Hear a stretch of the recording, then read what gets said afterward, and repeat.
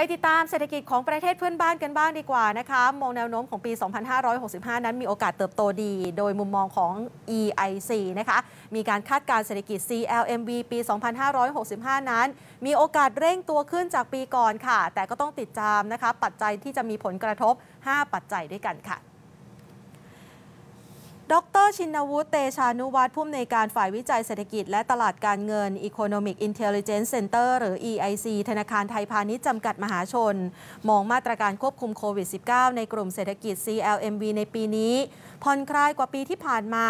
ส่งผลทำให้เศรษฐกิจในกลุ่ม CLMV นั้นคาดว่าจะฟื้นตัวอย่างค่อยเป็นค่อยไปตามการผ่อนคลายมาตรการล็อกดาวน์และมาตรการกระตุ้นเศรษฐกิจจากภาครัฐ ในขณะที่การจ้างงานก็คาดว่าจะทยอยเพิ่มสูงขึ้นตามภาคเศรษฐกิจต่างๆ ซึ่งเป็นปัจจัยบวกสำหรับการใช้จ่ายภายในประเทศค่ะ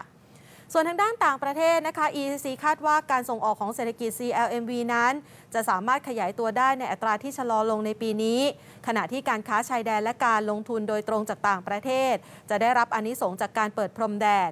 สำหรับความเสี่ยงต่อเศรษฐกิจ CLMV ที่ต้องจับตามองในปี 2565 ได้แก่สถานการณ์การระบาดของสายพันธุ์โอมิครอน หรือสายพันธุ์อื่น ๆ ที่ยังคงไม่มีความแน่นอนนะคะ อัตราการฉีดวัคซีนที่ยังคงค่อนข้างต่ำในสปปลาว และเมียนมา 3. ค่ะ เศรษฐกิจโลกที่อาจฟื้นตัวช้ากว่าคาด โดยเฉพาะเศรษฐกิจจีนที่มีความเชื่อมโยงสูงต่อเศรษฐกิจ CLMV 4. ราคาพลังงานที่เพิ่มสูงขึ้นจากปัจจัยสงครามรัสเซียและยูเครน 5. เสถียรภาพทางด้านการคลังและการเงินในแต่ละประเทศ โดยเฉพาะในสปปลาว เมียนมาที่มีภาระหนี้สาธารณะสูงเมื่อเทียบเท่ากับการจัดเก็บรายได้ของภาครัฐค่ะ